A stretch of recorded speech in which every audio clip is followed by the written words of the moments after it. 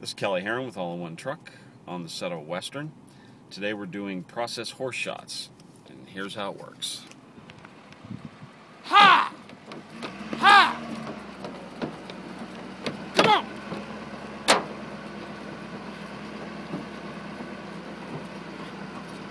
Let's go! Come on, Spike!